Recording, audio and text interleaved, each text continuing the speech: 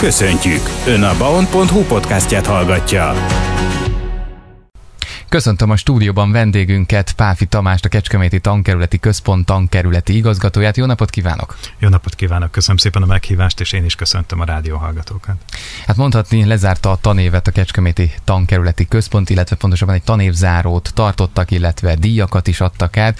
Hát az első kérdés akkor rögtön az, hogy kezdjük azzal, hogy hogyan zárták ezt a tanévet, hogyan lehet ezt összegezni. Hát lényegében ugye megtartottuk június 30-án a tanévzáró ünnepségünket. Ez már hagyomány a Tankeleti Központ életében, hogy egy ilyen ünnepséggel zárjuk a, a tanévet. Itt díjakat szoktunk átadni, az év pedagógus a díját, illetve az év nevelő oktató munka, munkát segítő munkatársának a díját. E, ez már így hagyomány nálunk. Hányan vettek részt ezen az ünnepségen? Mindenki ott tud ilyenkor, vagy ott tudott lenni egyébként, vagy valaki már elkezdi a nyári szabadságot, vagy addig nem is lehet szabadságra menni? De természetesen lehet szabadságra menni. Ez általában néha összeszokott um, um, csúszni a tanévzáró értekezletekkel, ilyenkor az intézmények inkább a tanévzáró értekezleteken vesznek részt. Ez egy ünnepélyes kerete a tanévzárásnak. Itt az intézményvezetők, illetve a tagintézményvezetők szoktak részt venni, illetve az általuk delegált díjazott szoktak, szoktak részt venni. A jelen tanévben 15 pedagógust díjaztunk, és 5 nevelő-oktató munkát segítő munkatársat. Folytassuk is akkor talán a díjazottakkal, ha már rátértünk, hogy díjakat adnak át, ez is már akkor hagyomány. Mi alapján a, a, ítélik oda a díjakat egyébként? Ez milyen rendszer alapján kerül kiosztásra? Lényegében az év pedagógusa díj az a 2018-2019-es tanévben alapította a tankerület. Itt az intézményvezetők, illetve a tagintézményvezetők terjesztik fel azokat a kollégákat, akik, akiket a díjra elismerésre méltónak tartanak. Itt lényegében a, a munkájukat, az eddigi munkájukat, az eddigi évtizedekben végzett munkájukat, életutukat díjazzuk. Ugyanez a helyzet az év nevelő oktató munkát segítő munkatársával. Ezt a díjat 2021-22-es tanévben alapítottuk, és ugyanez a, ugyanezek a feltételek mentén ítéljük oda a díjakat. Persze hosszas lenne felsorolni a neveket, ez gondolom valahol elérhető és olvasható? Így igaz, igen. Igen, elérhető és olvasható a, díjazottaknak a listája. Gratulálunk nekik, mikor Így, innen is. Igen. Innen folytatjuk a beszélgetést a zene után. Vendégünk a stúdióban a Kecskeméti Tankerületi Központ tankerületi igazgatója Páfi Tamás. No de visszatérve a tanévre, és hogy ö, mit tudunk elmondani, mert olvastam, hallottam, hogy eléggé mozgalmas volt az előző tanév. Ez alatt mit értünk? Hát lényegében túl vagyunk egy Covid időszakon, az előző tanéveket ez határozta meg. Ezt a tanévet viszont ugye a a háború okozta válság és az energiatakarékossági intézkedések betartása határozta meg. Itt, itt szeretném megköszönni az intézményvezetőknek és a tagintézményvezetőknek a munkáját, akik, akik segítették azt, hogy azokat a célokat, amiket az energiatakarékosságban el kellett érnünk, azokat sikerült elérnünk. Illetve rengeteg programmal és rengeteg feladattal, feladaton vannak túl az intézmények. Értem ez alatt például a szakmai versenyeket, amiket, amiket megszerveztek, illetve értem ez alatt olyan projekteket, amiben részt vettek, rengeteg határtalanul programot bonyolítottak le az intézmények, ha jól is emlékszem, akkor 30, 33 darab határtalanul programon vagyunk túl. Ez azt jelenti, hogy, hogy 33 utazást szerveztek az intézmények, és látogattak el Erdélybe, illetve a délvidékre és a felvidékre, úgyhogy illetve sok Erasmus programon vannak túl az intézmények emellett. És hát pályázatokról is beszélhetünk, hiszen azon is folyamatosan szerepel a Kecskeméti Tankerületi Központ. Valami le is zárult most, folyamatban lévő pályázatokról is tudom, hogy beszélhetünk. Igen, jelen pillanatban egy szakmai pályázat zárása vagy utolsó mérföldköveihez érkeztünk. Ez az EFOP 316-os szakmai pályázat, ahol a Kecskeméti Egymi, illetve a Kiskunfél Egyházi Göllesz Egymi, valamint a pedagógiai szakszolgálat vesznek részt. Ez szakmai programokat jelent, szakmai tartalmakat, tudásmegosztást és, és ilyen programokat tartalmaz, továbbképzéseket a pedagógusoknak. Ennek a projektnek a záró időszaka az augusztus lesz, augusztus vége.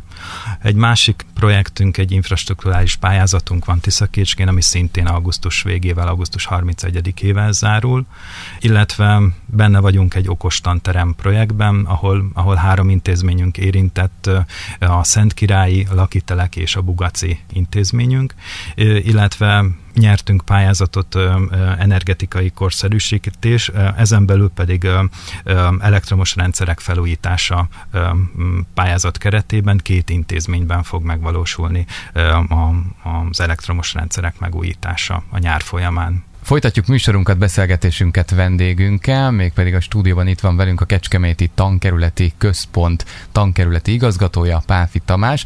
Beszéltünk itt a pályázatokról, felújításokról, és említette ezt az elektromos hálózatfejlesztést. Kicsit erről, mert akkor ez most a nyáron fog megvalósulni, ha jól értem. Melyik intézményeket érinti, igazából ez, erre miért van szükség? Egy kicsit erről még mesél nekünk. Hát lényegében az, az épületeink energetikai vagy elektromos hálózatai így meg tudnak újulni, illetve felújításra kerülhetnek. Ez kettő intézményt érint a tankeleti központban, a Kiskunfélegyházi Platán utcai általános iskolát és a Kiskunfélegyházi Dózsa György általános iskolát. Ő, ők ketten nyerték el ezt a pályázatot, és ez, ez két hónapos intenzív munkát jelent most jelen pillanatban a nyári szünetben, amíg a gyerekek nyaralnak és otthon van vannak és élvezik a nyári szünetet, addig a munkálatok pedig folynak az iskolában, hogy szeptember 1 már egy megújult elektromos hálózattal rendelkező iskolába térhessenek vissza. Például van lehetőség arra is, hogy más intézményekben is ilyen fejlesztés megvalósuljon? Tehát folyamatosan lehet erre pályázni például? Jelen pillanatban ez a szakasza ennek a pályázatnak lezárult. Továbbra is keressük a lehetőségeket ilyen pályázati források kihasználására, hogy egyre több intézményt be tudjunk vonni ebbe a körbe. Mik a jövőbeli ö, pályázati lehetőségek egyébként, vagy ahova most szeretnének pályázni, vagy pályáztak, várnak esetleg mm, jó hírt? Várunk jó hírt, vannak pályázati lehetőségeink, ezeknek a megnyitását várjuk, hogy, hogy a felületen, hogy megnyíljanak a pályázati lehetőségek, és akkor be tudjuk adni ezekre a, a, a pályázatainkat. Említette itt az okos tantermeket is. Ö, ott melyik intézményeket illeti? Három intézményt, három. így igaz. Szent Király, Lakitelek és Bugac. Ez a három intézmény érintett benne. A pályázat keretében egy okos tanterem kerül kialakításra, interaktív táblákkal, illetve mindenféle számítástechnikai eszközök kialakításával. Ez is a nyáron zajlik? Igen, ez is a nyáron zajlik, ez, ez is, ha minden igaz, akkor szintén augusztus környékére kész kell, hogy legyen. Tehát az új tanévben akkor már tudják használni. Így igaz, így igaz, birtokba vehetik a gyerekek. Diákok, tanárok igaz, egyaránt. Igen. Vendégünk a stúdióban a Kecskeméti Tankerületi Központ tankerületi igazgatója Páfi Tamás. Ha már okos tanterem, a tankerület különböző más intézményében van már, ahol kialakítottak okos tantermeket? Tehát nem, vagy, vagy ez most teljesen most új dolog? Ez most, ez most teljesen új, ez egy, ez egy országos pályázat. 6 milliárd forint értékben ok, okosítanak fel, újítanak fel tantermeket országosan, és szerencsére nálunk ez a három intézmény, ez, ez be, be, bekerült a, a felújítandó termek közé.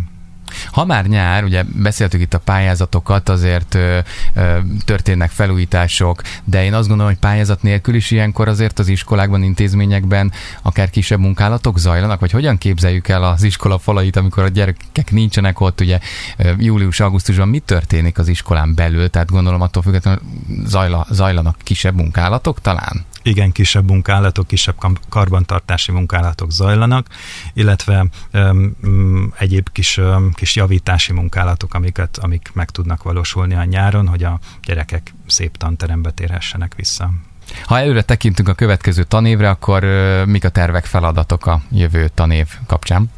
A jövő tanév kapcsán elkezdtük ennek előkészítését, az előzetes tantárgyfelosztásokat már, már elkészítették az intézmények. Ezeknek a finom hangolására van most időnk lényegében, most egy picit azért pihenünk, és akkor a, a munka az pedig augusztusban fog folytatódni ezzel kapcsolatosan, hogy, hogy jól tudjuk indítani a tanévet. És már csak egy utolsó gondolat, hiszen ugye néhány hónapja beszélgetünk, hiszen ö, ön vezeti a Kecskeméti tankerületi központot, ugye tankerületi igazgatóként mutattam be. Elődje Zsámboki Anna volt, mert Így most már nyugdíjba vonult, és pont itt a, a tanévzárás kapcsán, ha jól emlékszem, akkor ő is jelen volt, és megköszönték a munkáját. Így igaz, ez is hagyománya a tanévzáró ünnepségünknek, hogy a, a nyugdíjba vonuló intézményvezetőket köszöntjük, és most jelen pillanatban hát nyugdíjba vonuló intézményvezetőnk nem volt, hanem nyugdíjba vonuló tankeletvezetőnk volt, úgyhogy őt köszöntöttük nagyon sok szeretettel, és kívántunk neki nagyon boldog nyugdíjas éveket mi is csatlakozunk ez a jó kívánsághoz. Én pedig köszönöm szépen, hogy eljött, és beszélgethettünk a Kecskeméti Tankerületi Központ aktualitásairól. Mondhatnám, hogy azért a nyára akkor minden pedagógusnak önnek is kellemes nyarat, pihenést azért kívánok. Köszönöm szépen én is mindenkinek. Nagyon pihentető nyári szünetet kívánok.